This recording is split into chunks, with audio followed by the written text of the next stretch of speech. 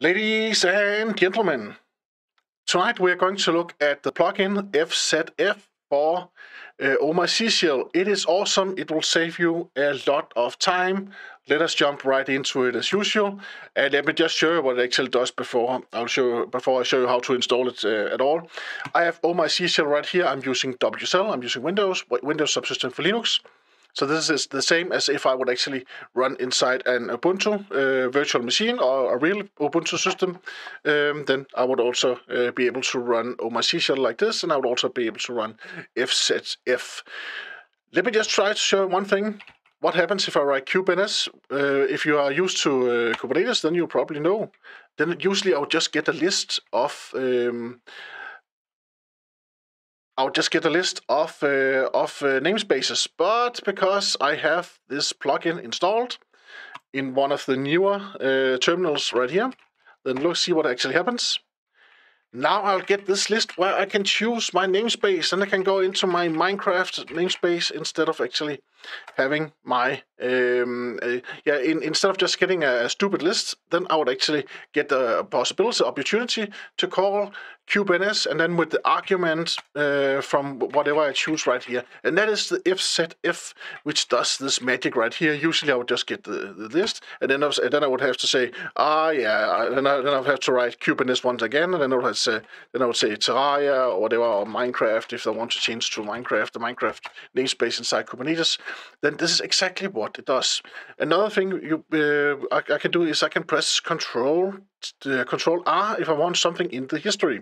If I press Control R, I have this uh, cool command. I'm echoing out something really really important. I I, I can remember it's something with echo, um, or, or, maybe it was something important. So I'll just write important right here. So this is a a fuzzy search I'm doing right here. So I'll just I'm just writing important, and then I remember it was something with echo also. And then I get these opportunities right here uh, that I can choose from.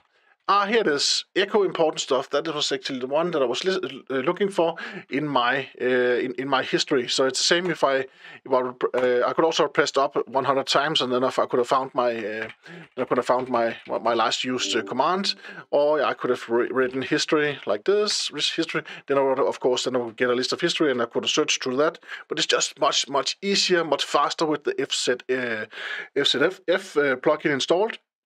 Then I just press Control R. Um, let us say say that I want to, to, to, to change the directory. Then I press Alt C. Then I can go to a directory. I remember that the directory I want to go uh, to it is something it is something with config. It is in a config folder somewhere. Um, it is something with my infrastructure. It is my in my infrastructure infrastructure folder somewhere. And yeah, I wanted to go to was it Terraria WordPress. I want to change directory to this folder right here. Then I just press enter, and now I am suddenly into this this in, in this folder right here. I'm in my projects code investigator infrastructure KA, WordPress, and then config, because that was the folder that I chose from the list. It, it is just so convenient. It is just so easy to use this FZF uh, plugin. There's another one that is the Control T that we have right here. This is if I want to look for files. Here we have this file right here, so here I can find files. Um, let me just uh, let me just uh, go a bit up in a, in a, directory hierarchy so I can show you uh, how uh, how efficient it actually is. I, am pressing Control T now, and then I can look for my file. Okay, it was something. It was it was named YAML in the end. It was something with Minecraft. Um, yeah, maybe it was something with my values actually. And then I can also press up and down, of course. Then I can choose my file. Then I get my file on the on the command line like this, and then I can uh, go and look uh, and see the uh, the the content of this. Another way is actually I can press uh, cat right here, and then I can press, um, and I can press, then I can press, uh, I can press Control T again, of course, and then I can say YAML. Was something with YAML. Maybe it was this folder, uh, this file right here. That's another one. Um, I can also choose. I can also choose uh, if you choose two stars and then press uh, tab then it's the same as pressing the Alt, uh, the control, uh, sorry, the Control T for file, and then again I can find my YAML file right here, and then I can say that this was something with Terraria this time maybe, and here we have some values. Here they are, namespace Terraria. That was the value file right there. it is awesome. It is cool. If you don't already have it in your uh, as, as an included plugin, then include it right away. But, okay, and how how can you actually include this? It's quite easy. It's very easy when you know how to include it. Uh, the first thing you need to do is you need to go to your um, you go you need to go to your home folder and then you just uh, edit your C, uh, OMA C shell or your C shell file your ZSHRC file, which is being called every time you start up a new terminal instance. And then you go find the your plugins section right here. If you cannot find it, if, you, if you're using VI, then you can write forward slash, and then you can write plugins like this, and then uh, enter, and then you will actually find your plugins, and you can press N to find the next instance, and here you are. Um, so now we have the FZF right here. There's a lot of other functionality inside it. It's really, really good for finding files and for looking stuff up. If you have some kind of list, then you can send this to FZF and then you can actually choose from that list. It does it doesn't have to know about the what, what you're trying to do. Then it will actually just find the then it will just find the, um, the, the entry that you're looking for. So whenever you are looking for stuff, if whenever you are whenever you want to find uh, some kind of entry, then FZF is really really cool. Uh, but you just add to your you just add it to your list right here. If you if you haven't added already kubectl and you are deal, and you are playing around with the Kubernetes, uh, please add this right away because you need the kubectl plugin also. It, it is also awesome. But uh, I will not uh, talk more about this in this video right here. Um, so that was step one. The second step is that you need to, to clone out a project. So here's, here's a documentation, OmaCShell, three master plugins, FZF, right here. Of course, there's a ton of plugins for OmaCShell, but you need to go and look uh, right here for this guide also. And then you need to go to installation area, right here, installation, uh, using Git, right here.